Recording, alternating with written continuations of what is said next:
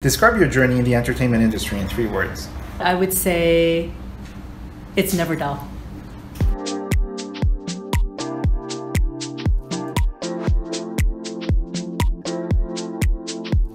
VAFF celebrating its 25th year, I think, is amazing. It's come a long, long way. The fact that VAFF has been able to endure all the trials and tribulations, I think, says tons. VAFF symbolizes opportunities for those of us that are underrepresented. The Asian diaspora, the Asian Canadians, we have so much talent and I want us to be able to express that and to be able to showcase that. VAFF is providing that platform. Oh, without a doubt, Minari. Being a Korean Canadian, there were so many aspects of it that I was able to relate to. My name is Susan Hanson, Festival Director for VAFF.